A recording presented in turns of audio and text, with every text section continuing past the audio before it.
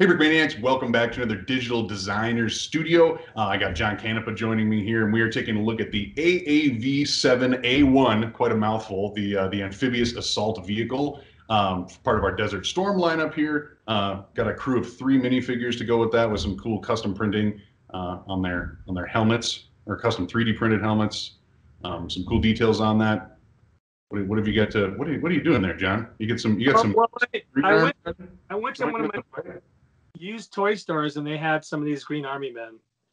And I, I love these Green Army men. I have about 30 or 40. And I'm like, I can have five more? They're only $4 each. Can you imagine? Anyways, that's not what we're here to talk about, though, Dylan. You're right. Forgive me. why did you why did you make me put them up there? Okay, so we're talking about the and like I said, when I read it upside down, it looked like ambitious assault vehicle. the ambitious assault vehicle. a cool name. It's very ambitious. I mean, okay, so this one I had wanted to build for a long, long time mm-hmm. because actually once I when I used to drive back and forth to San Diego, um, you drive by right by Camp Pendleton. Well, the Marines they do maneuvers right there off the freeway on the beaches, and I've seen these things coming ashore. You could see the the uh, whatever the the uh, ship was out in the ocean. These you could see little specks from far away coming and then they would land on the beach. So you could kind of see. Now they have of course they have so much land there.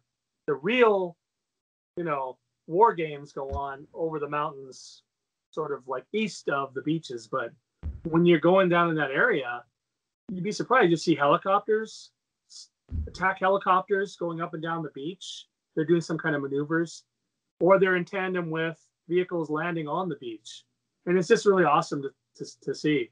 That right? sounds incredible. so yeah, so this particular vehicle, it's like man, that's in fact. Um, I, I'm a, very much a movie nerd, and I watch the same movie over and over to the dismay of my wife, who's how can you watch the same movie over and over? I'm like, I enjoy it. And she, her comment is, you seem to enjoy it like you've never seen it before every time I watch it, right? Well, I always discover something new, but in the movie, um, probably get the title wrong, but uh, it's the second, I believe it's the second Jurassic Park movie, third Jurassic Park movie, when they end up looking for the parent's son who got stranded. And at the end of the movie, when they're close to the beach, they hear somebody on a loudspeaker. Well, they come out to they roll out to the beach and this is what rolls up on the beach i think they're like a dark gray color or you know that ca- the dark camo color um, but these are what rolls up there and it's like you know the marines are all pour, pouring out uh, it's just really it's a it's a it's a it's a cool ending to that movie to have the this hardware roll up on the beach to to rescue them basically mm-hmm. anyways those. so yeah so again landon did a fantastic job in the minifigures i'll just point that out first um, it's a lot of cool features. The uh, the top opens up. You can see here the top opens up. You have all these. Um, oops, I just squished this. All these antennas. You have a cool turret on top with a, a I believe it's a grenade launcher and a 50 uh, caliber machine gun on there. Um, so it's got some hardware on it. Um, the, the the, part on this one that was very challenging was uh, it kind of has like poofy cheeks, right? So if you look at the actual vehicle, it's in the front, it's kind of shaped like a ship. And certain ships have that sort of like the, the bow has this little extra out outcropping. And maybe it's designed because it's coming onto shore, right? So it needs to have a certain shape to be able to get onto shore without um, getting stuck in the sand. So I don't have a picture of the actual vehicle with me. You'll have to look that up yourself. But again, that was a feature that I just couldn't ignore.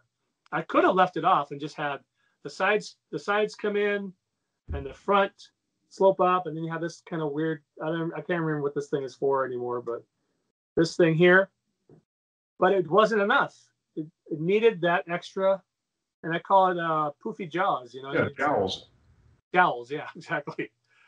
So uh I tried it. I tried a million different ways. I mean, nothing was quite right.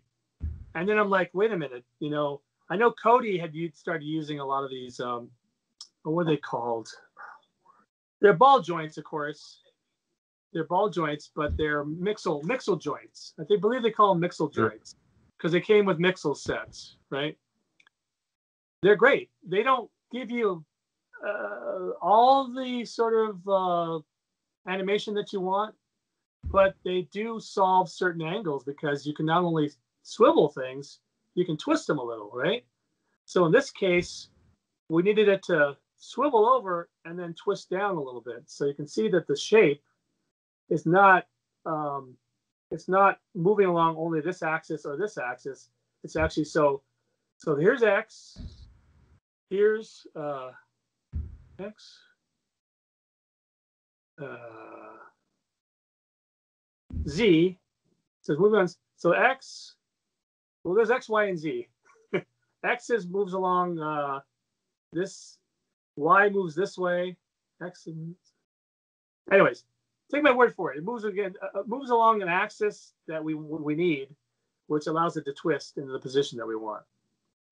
I'll have to set it up on my X, Y, Z. it's, it's all good. I think we understand kind of what you're trying to illustrate is that it kind of allows you to add curves really that you wouldn't necessarily be able to, um, especially when you're trying to capture something that isn't necessarily squared off, especially in the front.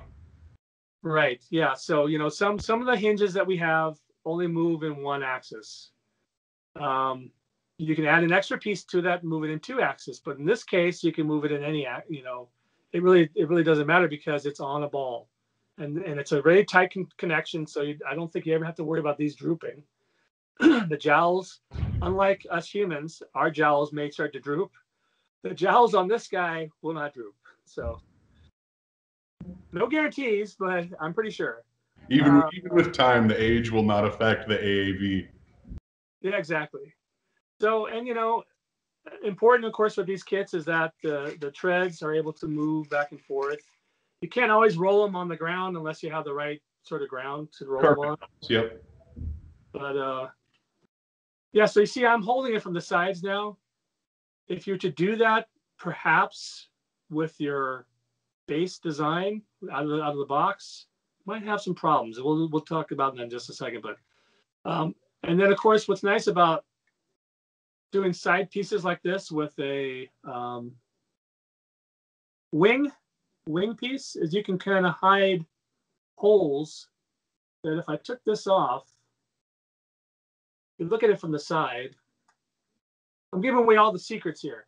If you look at it from the side, you can see there's kind of holes in there, right? It's not it's not smooth looking. But once I put this in place, Covers that up real nice. covers it up, looks cool, and you never know that there's holes there. And then of course you have a nice uh, opening ramp in the back. So this is again like we were talking about with the limousine. There's certain features that you want to have in kits like this. Um, that that's how they load. They load from the back. Um, I'm not actually sure what happens on the top here. It does open up. You know, maybe they can jump out from there. A little sun tanning. throw out throw out you know they go through uh new orleans they throw out beads no we don't do that uh I, I don't i don't prescribe throwing beads. Um yeah but it's a it's a feature that was on the vehicle we wanted to include. Again you, and then you have uh places for two figures to be in here. There's one guy I, I think he's the commander and then the driver maybe. And then of course the gunner here that i think that's the way it goes. Don't quote me on that. I have to look it up. And of course, we have these cool little side compartments, which you can put, you know, um, let's see, what kind of equipment can we put in there? I've, I've got a stray machine gun. We can throw a machine gun in there. Uh, we've got a pirate here, pirate here with hook hands. We can Lo- put him, luggage, pirates included. pirates included. Uh, anyway, oh, some binoculars. Those would be good for later. We'll put those in there. So, so you can put some. You can roll up a, a net, or you can you can put anything you want. Really, it just gives it a little extra ability for you, which I like. Is the customer can actually add to the kit and make it their own, right? Yeah, customization, and then not only that, but uh, especially for people who maybe have uh, have served aboard these things, they they would know kind of what that gear in, in, includes, and so they'd want to design it to the one that you know they wrote in. Right. Exactly. Yeah. For sure. Yeah, because there might be a different different way the front looks. So they might have different equipment on the front or or whatever. So, I was I was told, and I want to I want to find out who these people are because somebody told me through feedback that they were unhappy with the way the sides connect. And I want to tell them while I have, you know, we're all on this video call that they are absolutely right. I'm sorry. Think about the movie. I'm always talking about movies. Think about the movie uh, The Grinch, okay, with Jim Carrey. At the end of the movie, he's stolen all the toys, right? But he brought them back. And the reason why they don't arrest him, why? Because he says, I'm sorry. You're very right. I was like, why don't you arrest him? Why, you, why is he in jail? Because he said he was sorry. Okay. So hopefully that's enough. I, am so sorry. No designer jail for John. that's good. Yeah, because I have I have uh, more designs in, in me, I think. Okay, so it is a very cool kit. It really looks cool.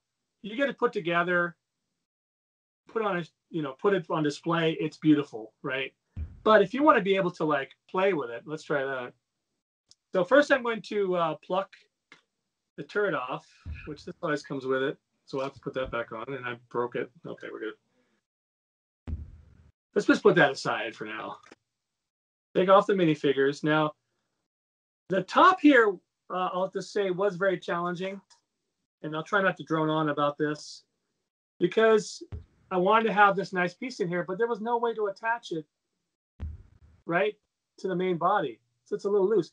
Once you have it on top, it's not going anywhere. It's not going to come off the side. It's fine. Um, but it was a very challenging piece, especially when you have limitations on what you've designed. So, you know, we put on the side pieces, well, they're going to get in the way of anything I put down this direction, right? So there is ways to be able to, you know, if I had it, if I had it my way, this thing would be like I could I could drop it and it wouldn't break, right? Doesn't always not always the case, but you have to consider the next step. So, for example, let's say you're designing, and this is just hypothetical, okay?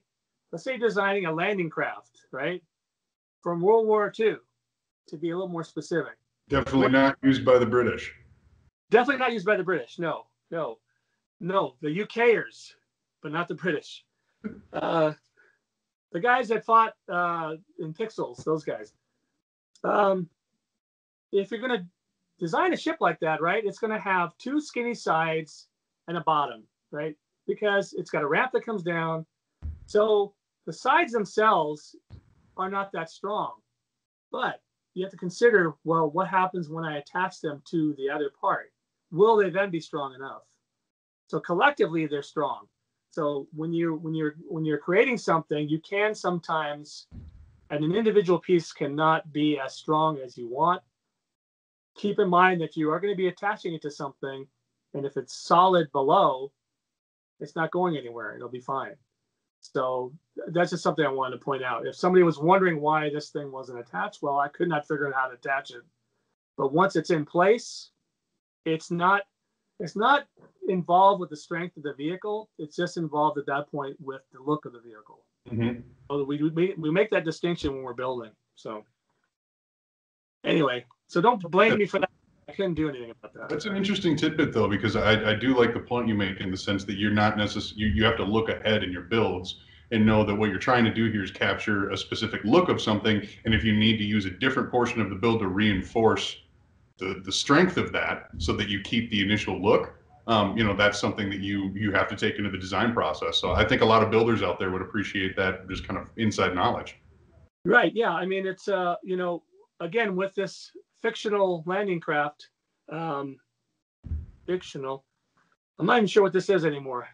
Quest quotations? I don't know. Anyway uh it's got to hold it's got to be wide enough to hold a tank but not so wide that it looks looks wrong right? So we can't just keep building out, but you want to make it strong enough against someone can play with it without crying because mom, the mean designer didn't create it strong enough, and now I'm sad.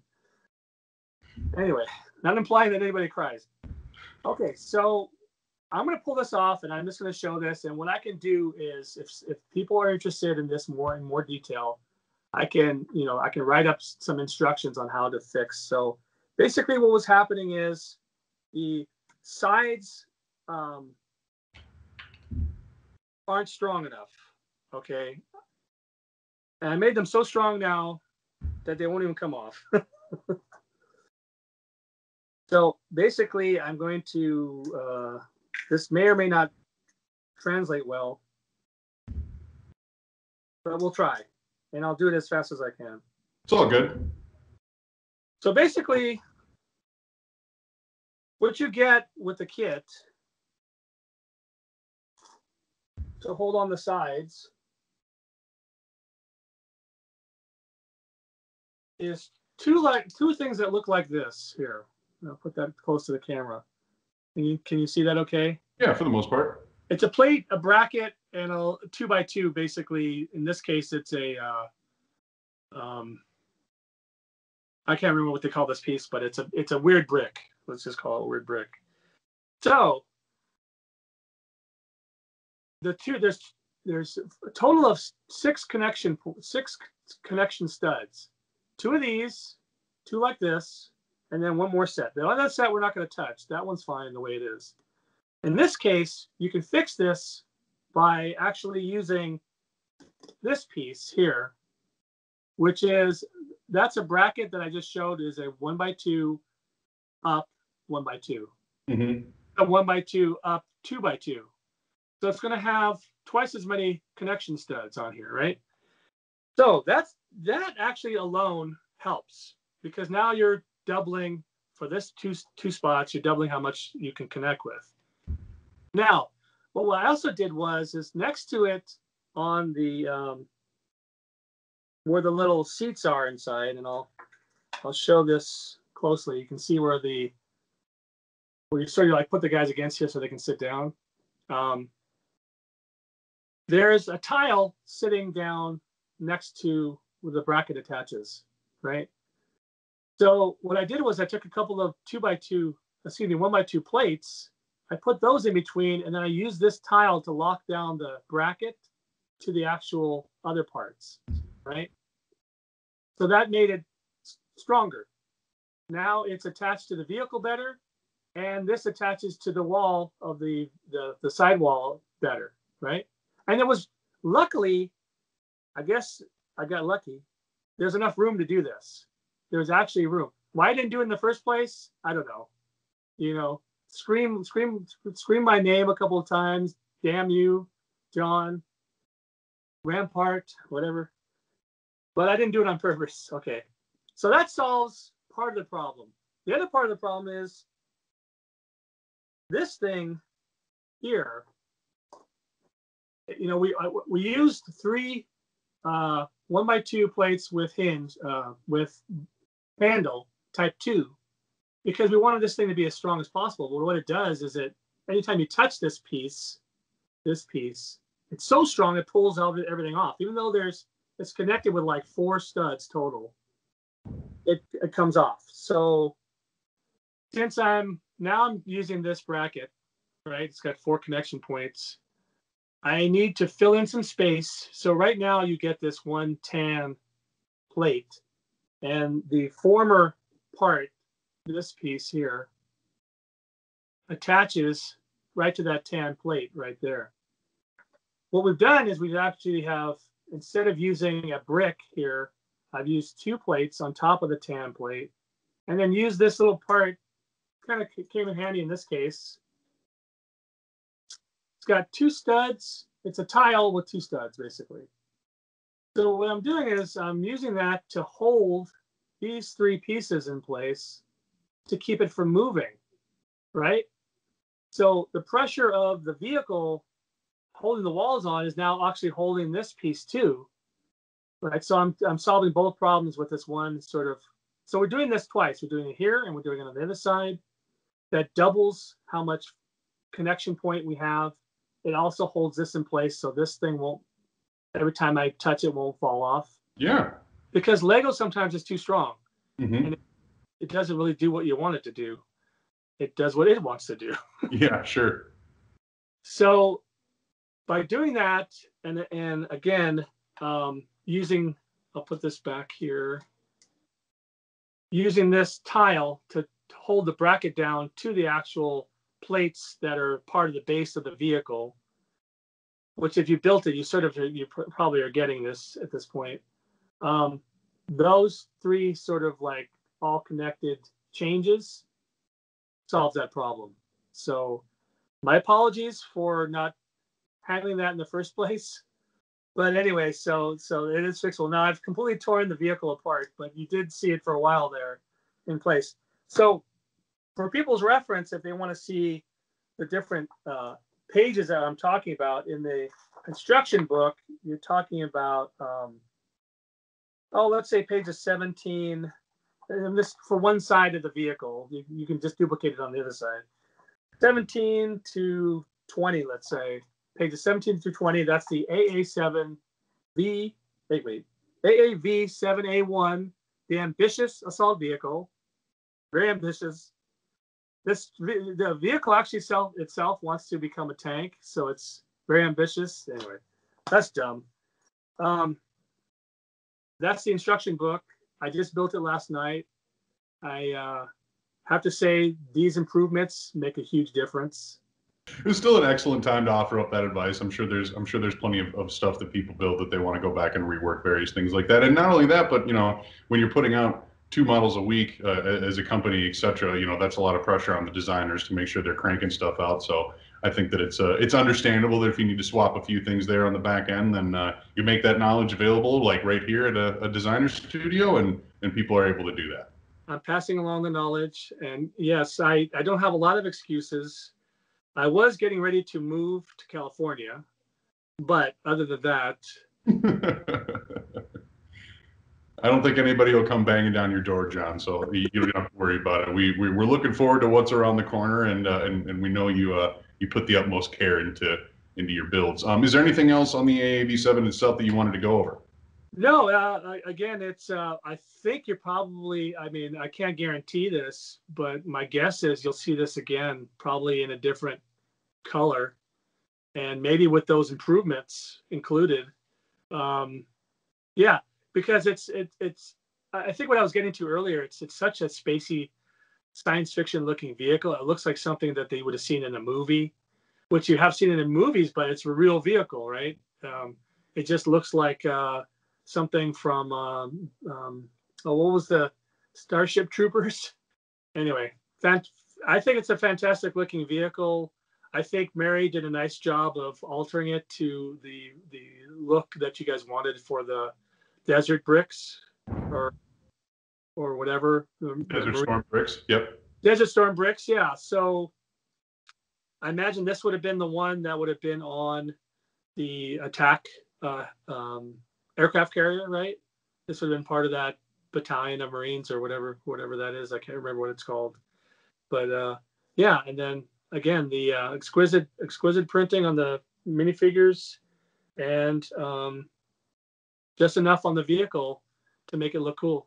So no, it's a I think it's a it's a good kit. Again, every kit has its challenge. Those gels, I'm like man, thank goodness I thought of that. well, yeah, I think the shape of the vehicle is excellent. We're looking forward to seeing uh, seeing what it looks like in a in a maybe even more modern sense and in a kind of a different color as well.